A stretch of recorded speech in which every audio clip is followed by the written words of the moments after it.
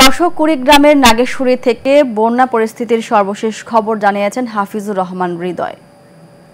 আপনারা জানেন, কয়েকদিনের টানা বৃষ্টি এবং উজানের ঢলে নাগেশ্বরীর সবকটি নদ নদীর পানি বৃদ্ধি পেয়েছে এবং আমরা দেখেছি যে নাগেশ্বরীর নিম্নাঞ্চল এবং উঁচু স্থানগুলো প্লাবিত হয়েছে বন্যার পানিতে।